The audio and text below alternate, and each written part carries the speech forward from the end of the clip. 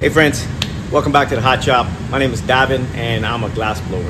Today, we're gonna make a vessel that I think is kind of quintessentially American. As a glass blower and maker of vessels, I'm always interested in sort of the history behind those vessels. The shot glass has a particularly wild history, at least apocryphally. Tons of really interesting stories, including being present in almost every single Western movie. It's sort of like a rum bottle for a pirate movie. Kind of gotta put it in there, right? I also think that it is a great vessel to demonstrate one of the fundamentals of glass blowing, which is to be mostly stretch glass rather than blow it. So let's get into it. Like, subscribe, comment, let me know if there's something else you want to see, and uh, let's go get some hot glass. Cheers. So here we go.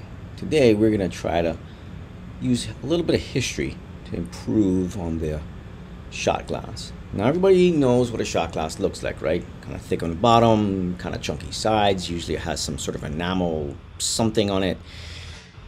Except for that's not how they were originally made or designed. Back in the day, we're talking early 1800s, there was a proliferation of these types of glasses, and they were most called whiskey glasses because that's what they were for. And they didn't look anything like what we think of as a shot glass today. They were described as, and I've seen examples, eggshell thin. They had a pretty thin bottom, and they were really delicate. Um, and I imagine probably kind of nice to drink out of. Although, I will say, a shot glass as an object in itself is a pretty basic thing and is designed to basically get something into your body as fast as possible. And this makes sense because this is pre regulation time when unscrupulous distillers would mix pure alcohol with God knows what mysterious and often toxic things to kind of approximate whiskey or rye. And so a, a dusty, dry cowboy that wants to wash a little bit of the dust off his gullet would try to go from bar top to belly as fast as he could, and the shot glass or the whiskey glass seemed an appropriate receptacle to do this job. Now, why do I think it's an interesting object? Well, if you see what's happening here, it teaches us that glass blowing is more stretching than blowing. So, what happened there? I got it really hot after I got it really cold. A concept you got to wrap your mind around with glass blowing is that the thinner the glass, the easier it stretches, the easier it moves. It's kind of like a rubber band. The thinner the rubber band, the easier it stretches. The thicker the rubber band, the more difficult it stretches. Also, the thinner the glass, the faster it heats up. So what happened there was I let everything get cold. I had a bubble in that glass, but I had a thick base. When I heated it up, guess what heated up faster? The thin bubble. Guess what stretched more? The thin bubble. So I stretched the length, and that's how, in roughly two moves, I can go from a blob of glass to what appears to be a shot glass. Thick base, relatively thin sides.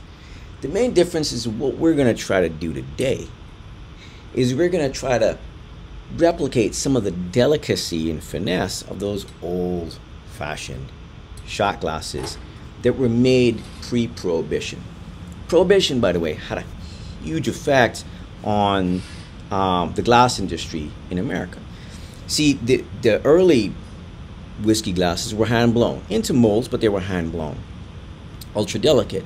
And then they were machine blown, again, into molds, but ultra delicate. Oh, by the way, for those new to glass blowing, if you're wondering what's happening here, I'm flipping this around so that I can get access to the opening. So I got a little bit of blob of glass on the end of a metal rod. It's called a punty. For you glass blowers, I'm holding that neck really tightly. This only works if your neckline, your constriction is very tight and your punty is still warm when you go to break it off. Um, if everything's cold and you pick it up and bonk it like that, it'll probably break off of everything and fall on the ground. So if you're breaking something off onto a warm punty, you've got to get good at this move here, which is straightening the object, centering it, I should say, on the punty afterwards. So you find where it's high, lift up, find where the base is high, like right there, stop, lift up a little bit, and push the back of it on center. This is the way that I do most of my transfers, and having that flexibility and that freedom um, to straighten something gives me more than one shot at one bite at the apple. So here you go again, blowing glass, more stretching. Again, I think this is a great exercise. Every glass blower should try to make a little shot glass, thick base, ultra thin sides, because it teaches you that if you want to thin out the glass and you want to have delicacy, there's a lot of stretching involved. So anyway, back to the history. I think it's kind of interesting all the stories that surround shot glasses, like how we get the term shot glass to begin with. There's so many stories. One of my favorite is from the cowboy era, and it was that a live cartridge cost about the same as a serving of whiskey. So a cowboy short on cash could trade a live round for a shot of whiskey. The other one is that it's um, it was these little glasses were used to collect shot back when people hunted for themselves for their food. They used buckshot, shotguns, and sometimes some of those pellets were still in the food when they were done. And so, um, what you get is some, you know, a few pellets in your mouth. You put them in the shot glass next to you. So it's a shot glass. The other story is that it is um, named after the Schott Glass Company spelled S C H O T or something like that. Um, still around today, by the way. But turns out none of that's probably true. More likely, it was named by an old preacher back in the UK that decided that a serving of liquor should be called a shot for some reason. Again, all these are apocryphal and no one knows for sure. Oh, by the way, when you're opening something thin like this and you want it to be even thinner, open aggressively. Stretch that rim on the glass out. That's what is going to give you that sense of delicacy and that really thin rim, which you'll see here at the end of this video. Anyway, I think this is an improvement on your standard shot glass. But honestly, that's not saying much. I mean, the reason why a shot glass is bad, no matter how well made it is, is because it's utilitarian.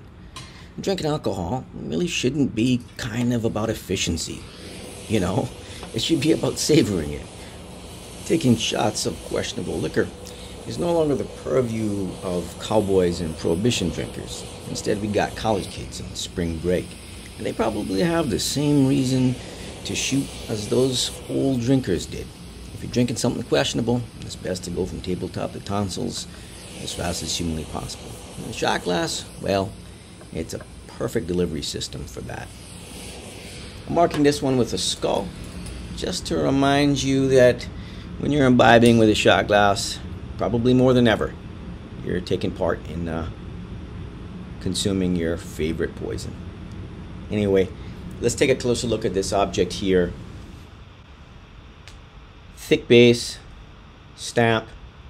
It holds almost exactly an ounce and a half, which is your standard jigger size, but also your standard shot glass size. The old ones, by the way, held more like two ounces, but it's got that thin, delicate rim, as you can see here. We're talking eggshell um, wine glass then. Feels nice on the mouth when you drink out of it. Um, yeah, I think it's just a vast improvement over the. By the way, normal shot glasses that you buy nowadays, they aren't blown. They're pressed glass. And I think this is another example of how hand blown glass, while it does take longer, can make improvements on your automated, machined, stamped out glassware. Anyways, until we get more hot glass together, cheers.